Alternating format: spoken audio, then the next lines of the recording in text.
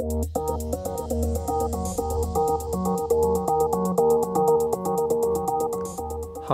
I'm Danny Beaumont from Brainstorm Digital, and I'm going to show you how to get the most out of Pinterest.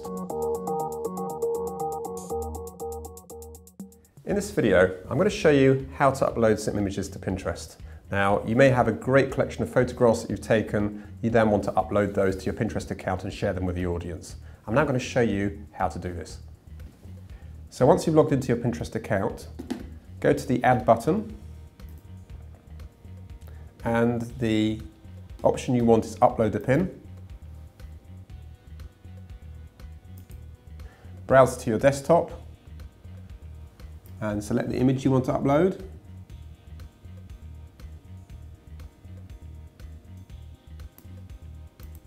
Double click.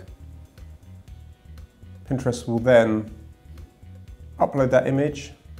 You can then select where you want that image to show and then you can put a label there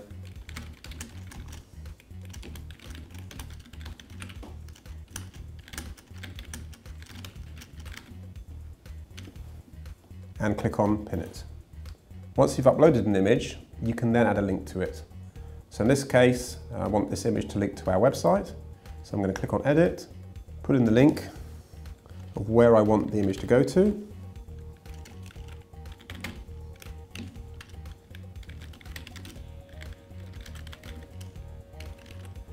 and press Save Pin. And this is a great way of sending people to a particular website. So if you've got a collection of really good images and you want to send people to a website where they can see more of the same images, that's what you would do. You go in and edit and then add the link.